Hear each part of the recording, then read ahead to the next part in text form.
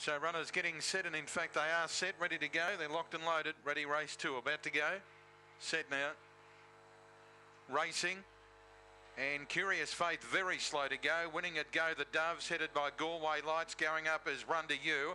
Now the favourite Curious Faith is out railing them going to the first corner. Going out after the leaders, Casanova Man, Popo's Legacy. Curious Faith got right through on the rail to take the lead to Run to You as they turn. Go the Doves and Galway Lights, but away goes Curious Faith. And despite an early hiccup as Too Good wins well. Over Run to You, Go the Doves and Galway Lights, Casanova Man and Popo's Legacy. And the run there's pretty good, 22.85.